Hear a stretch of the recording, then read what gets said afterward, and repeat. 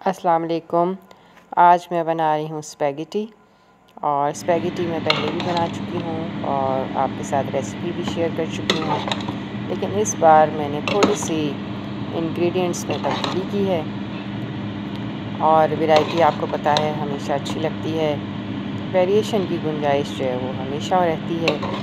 तो इस दफ़ा मैंने इसमें शामिल किया है चिकन का कीमा और चिकन के कीमे को थोड़ा सा बॉईल कर लिया था।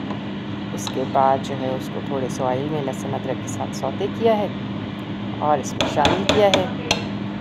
और इसमें जो मैंने सब्ज़ियाँ डाली हैं तो इस बार मैंने इसमें कॉर्न का एडिशन किया। मैंने इसमें कॉर्नस डाले। तो इससे जो है बहुत ही मज़े की लग रही है और थोड़ा सा चेंज भी लग रही है।